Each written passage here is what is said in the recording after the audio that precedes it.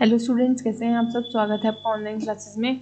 आज का हमारा क्वेश्चन है कम्युनिकेशन कम्युनिकेशन क्या होता है? क्या बैरियर्स आते हैं कम्युनिकेशन में? कैसे हम कम्युनिकेशन बैरियर्स को ओवरकम कर सकते हैं, वो हम आज पढ़ेंगे। तो कम्युनिकेशन का मतलब क्या होता है? कम्युनिकेशन एक लेटिन वर्ड से निकला है कम्युनस कम्युनस से निकला है कम्युनिकेशन मीन्स कॉमन कॉमन से कम्युनस इन कम्युनस से कम्युनिकेशन तो Communication may be defined as an exchange of facts, ideas, opinion, emotions and to create the mutual understanding. अपने ideas, facts, opinions और emotions को exchange करने का मतलब है communication. आप एक दूसरे से बात करते हैं आप speak करते हैं आप कुछ लिख के communicate करते हैं तो आप क्या करते हैं अपने ideas express कर रहे हैं तो reality is more than that मतलब but but reality में communication और भी wide wide term है हम ऐसे लिख के प्रिसाइज वे में नहीं बता सकते कि कम्युनिकेशन क्या होता है। फिर भी इनडायरेक्टली हम क्या बोल सकते हैं कि transmission of words attitude gestures actions और फीलिंग्स ये सब में कम्युनिकेशन होता है। कम्युनिकेशन का मतलब ही यही है कि कोई चीज़ एक्सप्रेस करना। Human aspect of communication is more important than the technical aspect अब टेलीफोन रेडियो मैटर नहीं करता कैसे कर रहे हो। आप ह्यूमन आस्पेक्ट आप एक दूसरे से कैसे बात कर रहे हैं? किस मोड से बात कर रहे हैं, वो बात अलग है। आप कैसे कर रहे हैं? आप वर्ड्स यूज़ कर रहे हैं, आप लेटर्स यूज़ कर रहे हैं सिम्बल यूज़ कर रहे हैं मैसेज भेज रहे हैं फेस टू फेस बात कर रहे हैं। आप किस तरीके से अपने भावनाओं को व्यक्त कर रहे हैं, वो कम्युनिकेशन होता है।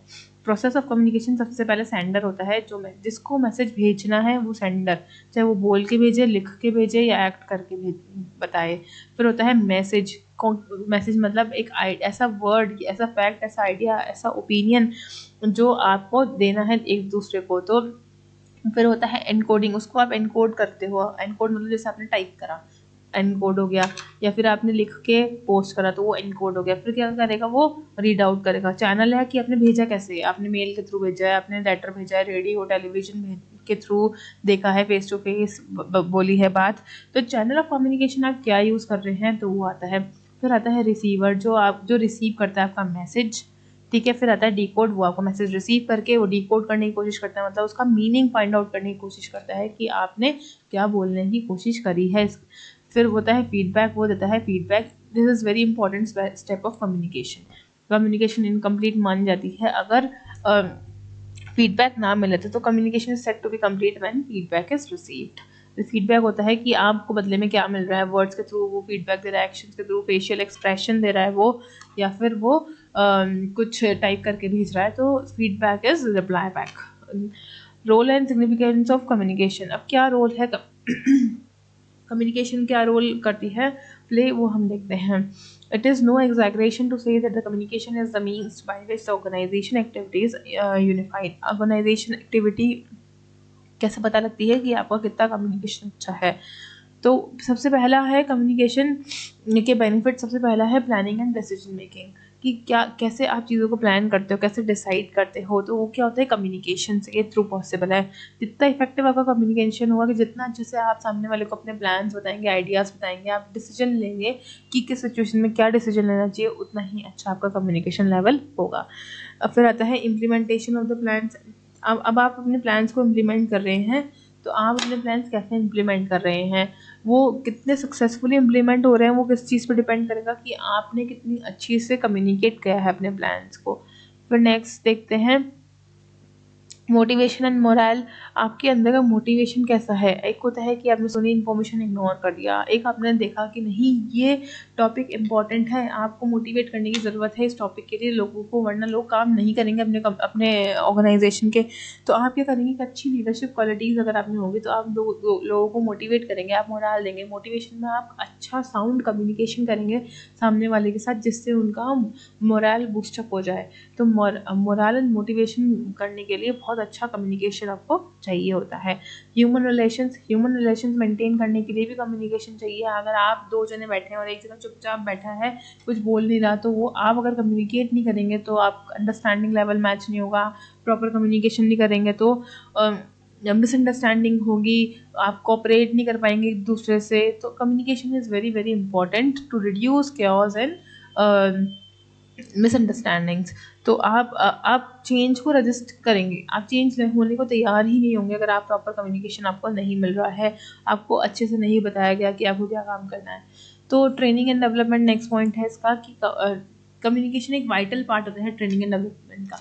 कहीं भी फ़ील्ड में चल जाइए, किसी भी जगह चल जाइए, अगर आज मैं आपको कोई क्वेश्चन समझा रही हूँ तो भी मैं आपसे कम्युनिकेट कर रही हूँ। आइदर इट इज़ वर्चुअली और इन फेस टू फेस लेकिन मैं आपसे कम्युनिकेट कर रही हूँ।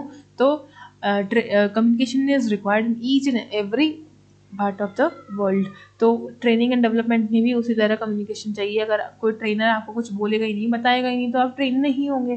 तो ट्रेनिंग एंड डेवलपमेंट में भी कम्युनिकेशन एक बहुत ही इंपॉर्टेंट और बहुत अहम रोल प्ले करता है। तो कोऑर्डिनेशन अगर आप कोऑर्डिनेट करेंगे तो आप बोल के ही कोऑर्डिनेट करते हैं आपस में कि तुम ये वाला काम करना, मैं ये वाला काम करूँगी, ये वो थर्ड पर्सन ये का ड्यूटी ये है।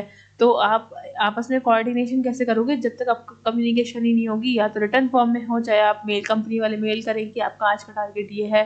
तो लेकिन अगर कम्युनिकेशन है ही नहीं तो आपका कोऑर्डिनेशन काम में नहीं हो सकता। फिर है पब्लिक रिलेशंस अगर आपको पब्लिक रिलेशन मेंटेन करने हैं तो आपको कम्युनिकेशन की बहुत बहुत ज़्यादा ज़रूरत है। बहुत इजी टॉपिक है ये, बहुत इजीली आपसे हो जाएगा। कॉमन सेंस वाला टॉपिक है। पब्लिक रिलेशंस अगर आपको मेंटेन करना है तो आपको कम्युनिकेट करना पड़ेगा। जो आपके कस्टमर्स हैं एम्प्लॉयज़ हैं, जो आपके एक्सटर्नल एक्सटर्नल लोग हैं, जिनसे आप कंपनी से रिलेटेड लोग हैं, उनसे आप क्या करते हैं एक अच्छा व्यवहार बनाने की कोशिश करते हैं। एक अच्छा स्टैंडर्ड मेंटेन करने की कोशिश करते हैं तो आप पब्लिक से अच्छा व्यवहार कब बनाएँगे? जब आप उनसे अच्छी तरह से बात करेंगे, उनकी सुनेंगे, उनकी प्रॉब्लम सॉल्व करेंगे। अब क्या क्या बैरियर आ सकते हैं कम्युनिकेशन में? आपका कम्युनिकेशन अच्छा कब नहीं होता? कैसे कैसे कम्युनिकेशन ख़राब हो जाता है? पहला है ऑर्गेनाइजेशनल बैरियर ऑर्गेनाइजेशनल क्योंकि एक अपना स्ट्रक्चर जो होता है ऑर्गेनाइजेशन का, वो बहुत ही फॉर्मल स्ट्रक्चर होता है। वो ऐसा पैटर्न होता है जहाँ पर बहुत एक बात ऊपर से लेकर नीचे तक आने में दस लोगों के पास जाती है। मैनेजर सीईओ बताएगा मैनेजर को मैनेजर, अपने डेप्यूटी मैनेजर को, फिर वो अपने नीचे वाले को, फिर वो अपने नीचे वाले को। तो जब तक नीचे आती है बात, तब तक वो मिर्च मसाला लग चुका होता है उस पर मतलब वो या तो एग्जैगरेट हो जाती है या फिर स्पाइस डप हो जाती है। तो ऑर्गेनाइजेशनल बैरियर क्यों होते हैं? क्योंकि स्ट्रक्चर ही हमारा ऐसा है, हमारा कॉम्प्लेक्स स्ट्रक्चर है तो उससे करेक्ट इन्फॉर्मेशन नहीं आ पाती लास्ट तक। स्टेटस बैरियर आपका स्टेटस है आप नीचे वाले से बात करने करोगे नहीं कि मैं क्यों करूँ बात? ये आ, मैं छोटे लोगों से बात नहीं करता आपका स्टेटस बैरियर आ गया आपके बीच में। तो यू आर तो सुपीरियर फ्री टू टॉक नहीं है कि भाई हाँ मैं अब नीचे वालों से बात नहीं करना चाहता। तो सुपीरियरिटी बैरियर अगर आ गया आप में तो फिर कम्युनिकेशन नहीं हो सकता। सेमेटिक बैरियर सेमेटिक सीमेटिक मतलब कि वर्ड्स का वर्ड्स एंड सिम्बल्स का। कि आपने वर्ड कुछ और लिखा, लेकिन उसका मतलब वो उसने कुछ और ही निकाल दिया। कई बार एक ही वर्ड के दो मतलब होते हैं कई बार एक ही लाइन को दो तरीके से पढ़ा जा सकता है। तो आपने बोलने की कुछ और कोशिश की, लेकिन स्लैंग सामने वाले ने कुछ और गलत तरीके से ले लिया। तो वो होता है सेमेटिक बैरियर फिर आगे देखते हैं। इन अटेंशन बैरियर आपने एक मीटिंग ज्वाइन की वहाँ पर। आप आपने ढंग से सुना ही नहीं कि आपके बॉस ने आपको क्या इंस्ट्रक्शन दिए और आपने जब काम किया फिर आपने गलती कर दी तो आपका अटेंशन ही नहीं था। आप, अगर आप अटेंशन नहीं लेंगे, आप इंटरेस्टेड नहीं होंगे किसी चीज़ में तो वो काम आप ढंग से कर ही नहीं सकते। तो कम्युनिकेशन प्रॉपर होएगा ही नहीं अगर सामने वाले इंटरेस्टेड ही नहीं हो सुनने में। तो कम्युनिकेशन कंप्लीट ही नहीं होगा। फिर पर परसेप्चुअल बैरियर अब परसेप्चुअल बैरियर क्या होता है? Every individual has specific area of interest हर एक का अपना एरिया ऑफ़ इंटरेस्ट होता है चाहे वो सुनने का हो चाहे वो रीड uh, करने का राइट करने का चाहे वो सिंग करने का स्पोर्ट्स का हो सबका अपना अपना अलग अलग तरीका होता है। बात बोलने का बात समझने का काम करने का इंटरेस्ट का सबका अलग अपना तरीका होता है। तो हो सकता है कि अंडरस्टैंडिंग ही मैच ना करे। आप कुछ और बोल रहे हो सामने वाला कुछ और समझ जाए। फिर आता है इन्फॉर्मेशन ओवरलोड अगर आप एक साथ बहुत सारे इन्फॉर्मेशन किसी सामने वाले को बता देंगे तो फिर आपका काम नहीं होगा। बहुत ओवरलोडेड इन्फॉर्मेशन बता दी आपने एक साथ महीने का टास्क बता दिया कि कब कौन सा काम होगा। तो सब मिक्सअप हो गया मेरे दिमाग में। तो बहुत ओवरलोडेड इन्फॉर्मेशन होती है तो आप क्या करते हैं? मिस कर जाते हैं कई चीज़ें। कई चीज़ें आप भूल जाते हैं करना तो फिर वो इनकम इनफेक्टिव हो जाता है। प्री मेच्योर एवेल्यूशन आपने पहले से ही पूरी बात सुना है। बिना ही आपने मीनिंग निकाल लिया किसी बात का। तो प्री मेच्योर एवेल्यूशन तो आपने क्या करा? आपने पूरी बात सुनी ही नहीं और उससे पहले अपने माइंड में पूरी चीज़ बना दी। तो आप लॉजिकल नहीं हो यहाँ पे। आप पूरी बात सुनो, ढंग से सामने वाले की समझो, उसके बाद आप एवेलुएट करो। फिर channel of distortion channel of distortion मतलब कि मान लो टेलीफोन लाइन ख़राब हो गई मैसेज में एरर आ गया, या फिर हम फ़ोन पे बात कर रहे हैं, कोई पीछे से बहुत नॉइज़ आ रही है तो आपने कुछ और ही सुन लिया, कुछ और समझ लिया। तो ये बेसिक बेसिक फिर कैसे हम इन बैरियर्स को ओवरकम करें? हम क्लियरिटी कर क्लियरिटी के साथ में।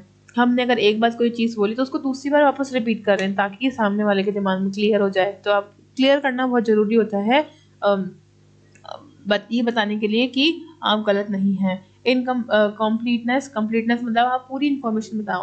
आधी अधूरी मत बताओ ताकि सामने वाले की मिसअंडरस्टैंडिंग क्रिएट हो। आपको एक एक चीज़ डिटेल में सामने वाले को बतानी चाहिए। ब्रेविटी ब्रेविटी का मतलब कि आप जो वर्ड्स की मीनिंग अगर सेम सेम है तो आप बताइए कि मैं किस कॉन्टेक्स्ट में मेरी बात बोलना चाहती हूँ, क्या क्या सही तरीका है मेरी बात को लेने का? अगर एक बात आप कोई बोल रहे हैं, उसके दो तीन मीनिंग बनते हैं तो आप you should be concise and precise in your speech कि ये मेरा मतलब है बोलने का। फिर है टाइम टाइमलीनेस आप सही टाइम पे सही चीज़ को, सही जने को अगर आप बात बताएँगे तो आपका मिसकम्युनिकेशन बचेगा। फिर है कंपैशन कंपैशन मतलब कि आपका इंटेलिजेंस लेवल आपका बैकग्राउंड कैसा है, उस अकॉर्डिंग आप इन्फॉर्मेशन दें। अगर कोई इंग्लिश नहीं समझता और आप उस बंदे को इंग्लिश में आप इंस्ट्रक्शन दे रहे हैं तो वो कम्युनिकेशन कंप्लीट नहीं होगा। तो आप सामने वाले की माइंड सेट के हिसाब से कम्युनिकेट करने की कोशिश करें। इंटीग्रिटी इंटीग्रिटी का मतलब हो गया कि जहाँ जहाँ एक्शन रिक्वायर्ड है like like communication should not bypass level of authority ताकि कॉन्फ्लिक्ट और कन्फ्यूज़न हो। ऐसी बातें जो सामने आगे जाके नहीं बोलनी, वो मत बोलो। ऐसी बातें जो बोलनी है, वही बोलो। सो, सोच समझ के बात करने से भी कन्फ्यूज़न नहीं होते हैं। फिर फीडबैक हमेशा लो। फीडबैक होता है टू वे प्रोसेस अगर सामने वाला आपको फीडबैक दे रहा है तो आपको समझ में आ जाएगा कि हाँ उसको मेरी बात समझ में आ गई। अगर मैंने कुछ और बोला और वो सामने से फीडबैक कुछ और दे रहा तो आप क्या बोलोगे? मैंने तो ये चीज़ पूछी नहीं थी, आप ऐसे क्यों बोल रहे हो? तो आपको फीडबैक लेने से पता लगता है कि आपको जो मैसेज था वो सही डिलीवर हुआ है कि नहीं। अटेंशन ध्यान से सुनो। सामने वाले का ध्यान आपकी तरफ़ होना चाहिए। आप ये, आप इंश्योर करो कि सामने वाला आपका आपका जो बोला गया है वो एकदम ध्यान से कान लगा के सुन रहा है ओपन माइंडेडली सुन रहा है और इंटरेस्ट के साथ सुन रहा है। तो अटेंशन अगर दोनों साइड से है तो आपका कम्युनिकेशन बैरियर दूर हो सकता है। तो ये कुछ हमने क्या क्या देखा यहाँ पर? तो लास्ट में देखते हैं communication is an art and it can be improve by the continuous practice communication आप जितना अच्छा आप कन्वे करोगे कम्युनिकेट करोगे, उतना अच्छा आपके लिए होगा और एक कंटिन्यूस प्रोसेस है। आप अगर आपको नहीं आता बात करने का तरीका तो आप धीरे धीरे सीख जाएँगे टाइम के साथ साथ ये बोलता है ये मैनेजमेंट कि। आप एफिशिएंटली और इफेक्टिवली किसी कम्युनिकेशन करोगे तो अच्छा मैनेजमेंट होगा, नहीं तो नहीं होगा। तो हमने पढ़ा कम्युनिकेशन क्या होता है, कहाँ कहाँ ज़रूरी होता है, कैसे कैसे आप कम्युनिकेट कर सकते हो, कौन कौन से लोग इंक्लूड इंक्लूड होते हैं कम्युनिकेशन चैनल के अंदर, और जो बैरियर्स आते हैं उनको रिमूव कैसे किया जाए। तो हमने ये सब चीज़ें इस क्वेश्चन में देख ली। I hope you guys understand this question thank you so much